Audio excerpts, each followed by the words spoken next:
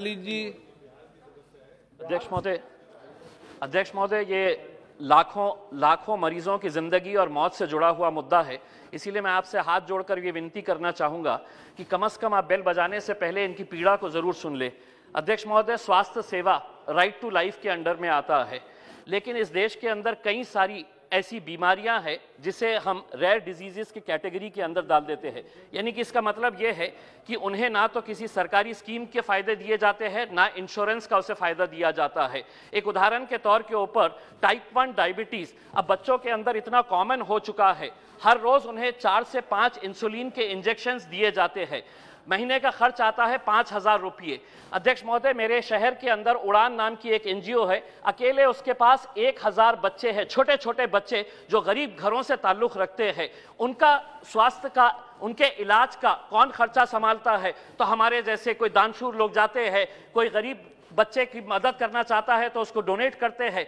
एक हज़ार बच्चे छोटे छोटे बच्चे, अगर उनका इलाज नहीं किया गया अगर डेली उन्हें चार से पाँच इंसुलिन के इंजेक्शन नहीं दिए तो वो बच्चे मर जाते हैं, अध्यक्ष महोदय। इसीलिए हम सरकार से यह अनुरोध करना चाहते हैं कि इसको आप रेयर डिजीजेस के अंडर में अगर निकाल के, सरकारी स्कीमों के अंदर, अध्यक्ष महोदय, दूसरी एक आम बीमारी जो महिलाओं के अंदर, पुरुषों के अंदर बहुत कॉमन है, वो ऑस्टोमी ऑस्टोमी का मतलब यह है कि आपका बॉवेल के अंदर जब कुछ प्रॉब्लम हो जाता है तो पेट के अंदर एक सुराख किया जाता है, एक नली निकाली जाती है और ज़िंदगी भर के लिए एक बैग लटकाया जाता है, जिसके ज़रिए वो जो भी करना है उस बैग के अंदर. अध्यक्ष महोदय, बड़ा अफसोस होता है ये जानकर कि ये बैग और जितने भी ऑस्टोमी के पेशेंट्स हैं उनको जो भी इक्विपमेंट्स लेना पड़ता है, ये एक भी इक्विपमेंट हिंदुस्तान के अंदर तैयार नहीं होता है। विदेशों के अंदर तैयार होता है। जब हिंदुस्तान में लाया जाता है तो 12 परसेंट कस्टम 12 परसेंट जीएसटी यानी कि अगर गरीब पेशेंट है तो उसको यहाँ पर कहीं पर भी कोई स्कीम के अंदर इसको इंक्लूड नहीं किया जाता है।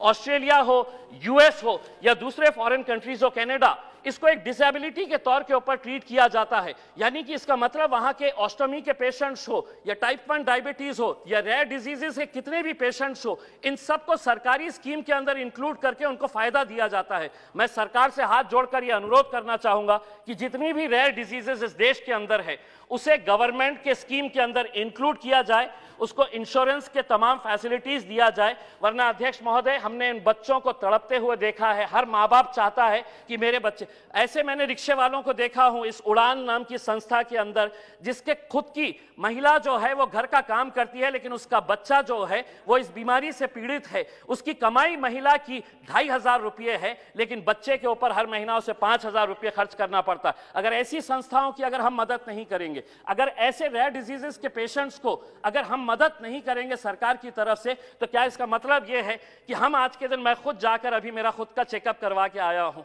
यहाँ पर यह फैसिलिटी अगर मुझे दी गई है तो उन बच्चों को क्यों नहीं दी जा रही है जो इस रेयर डिजीजेस से पीड़ित है? मैं हाथ जोड़कर सरकार से अनुरोध करूँगा, इस रेयर डिजीजेस के तमाम पेशेंट्स को सरकार की तमाम सुविधाएँ प्रोवाइड की जाए। धन्यवाद।